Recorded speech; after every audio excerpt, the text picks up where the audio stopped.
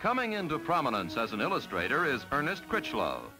His Greenwich Village studio was visited by two of the few living descendants of Harriet Tubman on the occasion of the publication of a new biography of the great figure of the Civil War era, a book in which Crichlow's pictorial contributions are outstanding.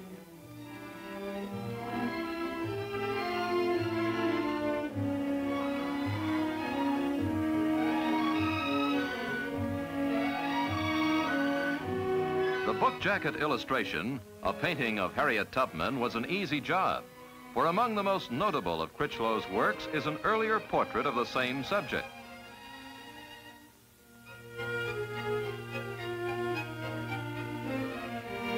Many of the paintings on his studio wall are among those exhibited at his first one-man show, a highly successful artistic debut. Crichlow's early promise is finding realization in his current work which establishes him in the first rank of the field.